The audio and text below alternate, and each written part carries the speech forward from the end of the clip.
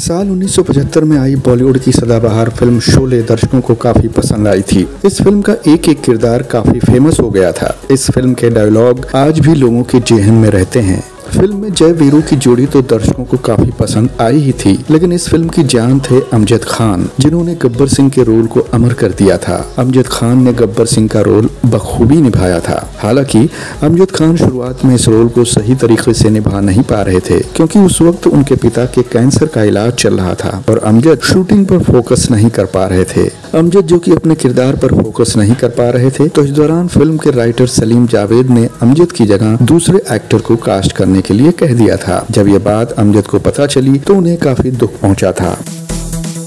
एक जानी मानी पत्रकार अपनी एक बुक में इस बारे में लिखती हैं कि अमजद और शोले के डायरेक्टर रमेश सिप्पी को दो दिनों तक शूटिंग में काफ़ी दिक्कत हुई। इसके बाद रमेश सिप्पी ने अमजद को थोड़ा ब्रेक देने के बारे में सोचा और उनके साथ अगले शेड्यूल में शूट करने का फैसला लिया। अमजद दूसरे शेड्यूल में पूरी तरह से तैयार थे, लेकिन टीम में कई लोगों को लग रहा था कि अमजद गब्बर सिंह के रोल को सही से नहीं निभा पाएँगे। सलीम जावेद भी इस बात से चिंतित हो गए और उन्हें लगा कि अगर अमजद की परफॉर्मेंस अच्छी नहीं हुई हुई तो सारा दोष उन पर जाएगा।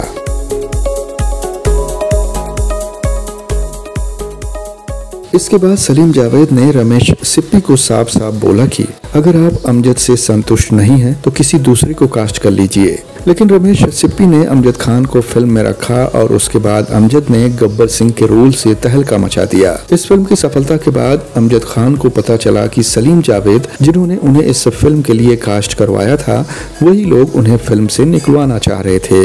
इस बात को जानकर अमजद को काफ़ी दुख पहुँचा था और फिर उन्होंने सलीम जावेद के साथ कभी भी काम नहीं किया।